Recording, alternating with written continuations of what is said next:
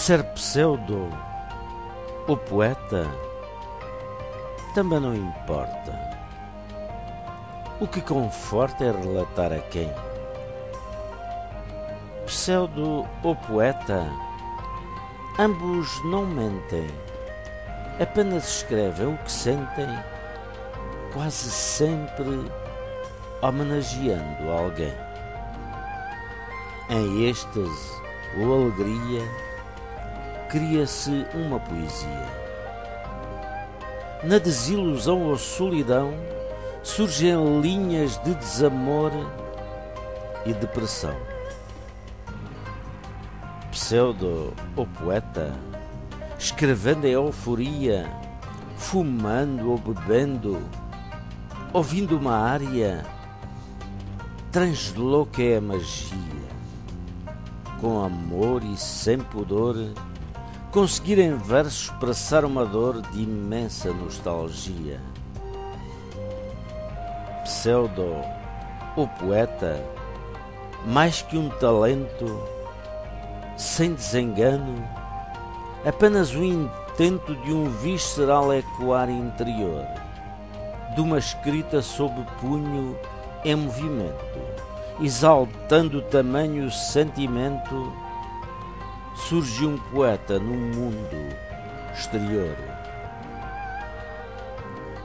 Pseudo, ou poeta, cego, sem atino, apaixonado ou equilibrado, erudito ou ousado, em cordel pouco polido, é o poeta inspirado.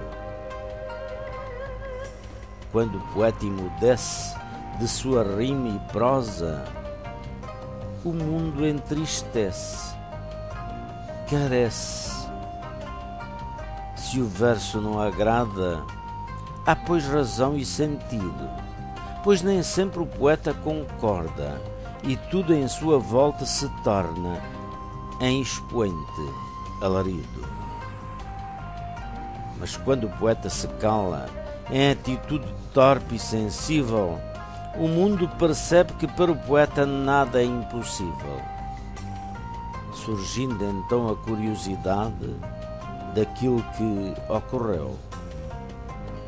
Eis que no celestial firmamento nasceu uma estrela, porque um poeta morreu.